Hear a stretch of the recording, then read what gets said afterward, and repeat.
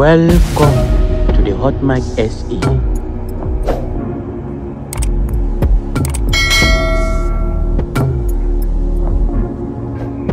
Springboks fan goes viral for speaking Afrikaans during heated quarter-final game against France. A video of Mzansi man switching to Afrikaans in support of the Springboks during the Rugby World Cup quarter-finals has gone viral on social media. The man, Kabelo Mumakwe, can be seen wearing his Springboks jersey and standing on a fancy chair while watching the game on TV. Kabelo is so excited that he starts speaking Afrikaans even though it's not his first language. A video of a man watching the nail-biting Rugby World Cup quarterfinals match with much anticipation has social media users laughing out loud.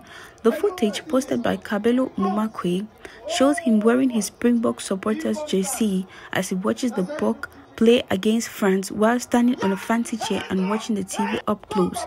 Kabelo can be heard speaking in Afrikaans as he excitedly watches the thrilling game, crossing his fingers that the Springboks make it to the semi-finals.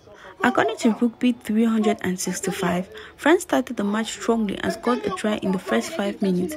South Africa responded quickly with a try of their own and secured their victory.